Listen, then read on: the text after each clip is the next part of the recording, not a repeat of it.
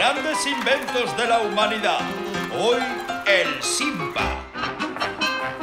A comienzos de 1894, cuando la gente se quedaba sin dinero, no podían pedir más consumiciones en los bares.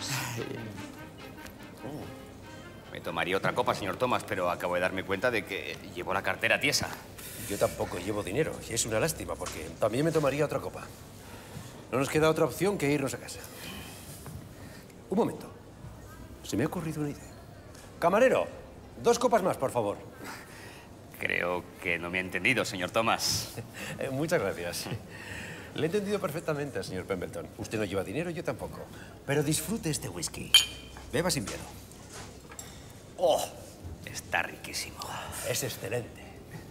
Pero creo que no le sigo, amigo mío.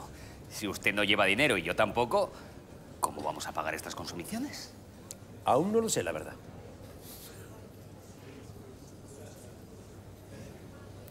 Ya está. Ya lo tengo. Señor Pemberton, nos vamos a ir sin pagar. Pero es genial. ¿Cómo no se nos había ocurrido antes? No lo sé, señor Pemberton. A veces las cosas están ahí y no las vemos. Eh, levántese, levántese. Disimule, mire el techo.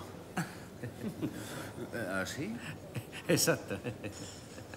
Eh, El camarero nos está mirando. Son, sonríale, sonríale.